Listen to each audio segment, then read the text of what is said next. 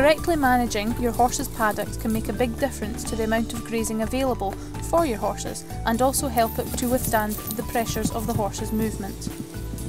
Good quality grazing pasture is the healthiest and most natural diet for horses and also has the potential to allow for areas to be closed off for hay and haylage production to provide winter feed.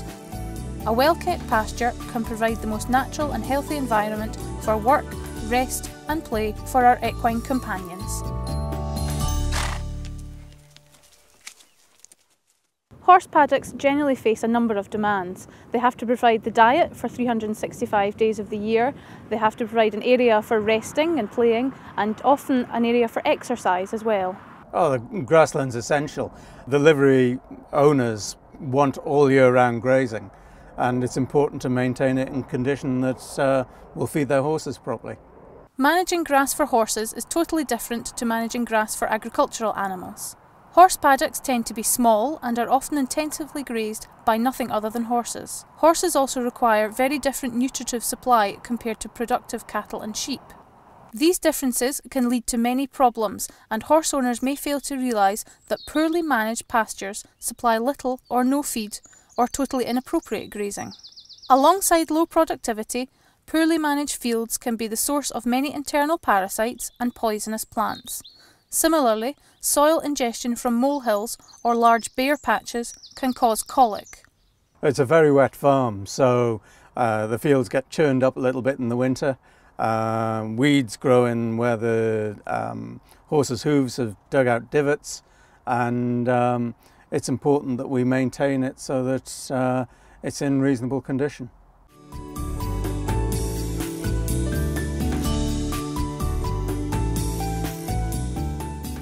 High rainfalls and prolonged wet weather over the past few winters have resulted in many paddocks now looking like this. Lots of very big bare patches, many of the leaves are very, very yellow.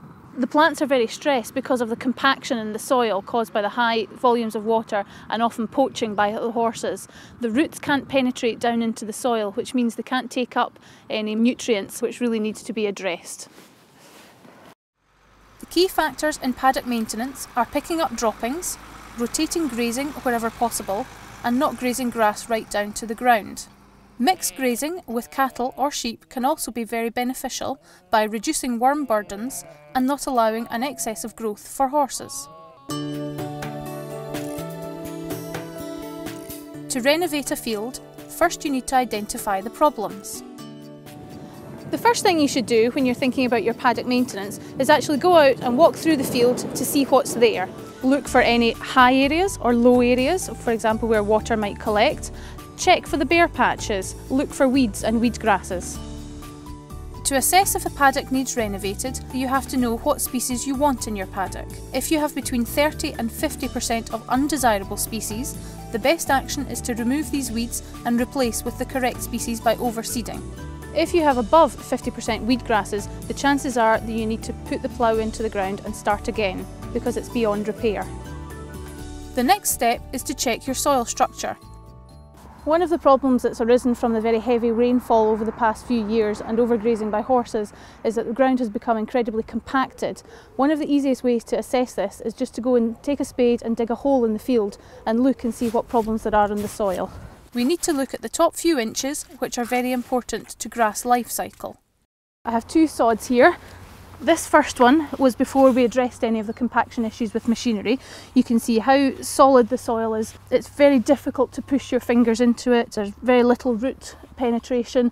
There's no way water would be able to drain away from here. This one here is completely different. We've addressed it with a sward lifter and you can see it's broken the soil up really, really well. It's much more crumbly, water and roots will be able to get down through that much more easily.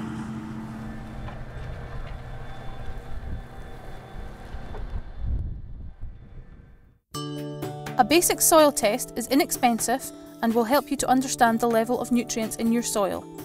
The most common problem with horse paddocks is a shortage of lime, not phosphorus or potassium. Calcium lime is very good for grassland as it is required in higher levels than magnesium by the soil.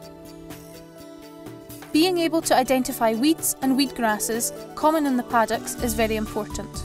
The critical weed to be able to identify is ragwort.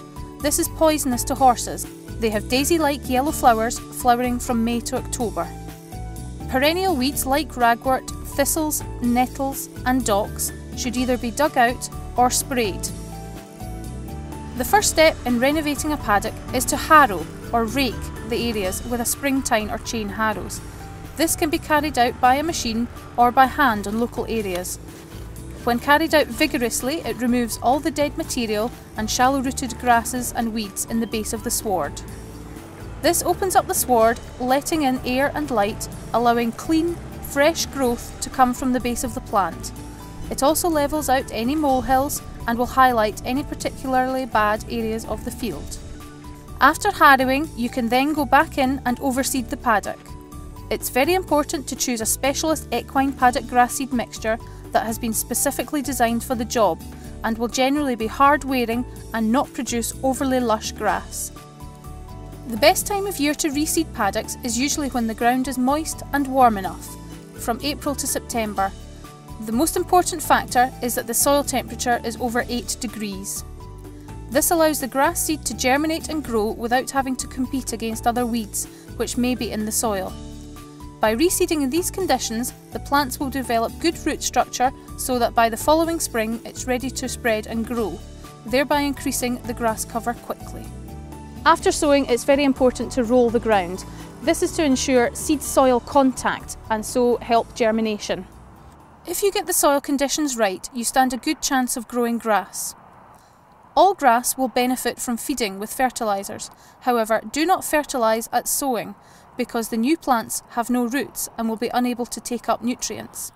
All you do is favour the existing sward and provide more competition to the new plants.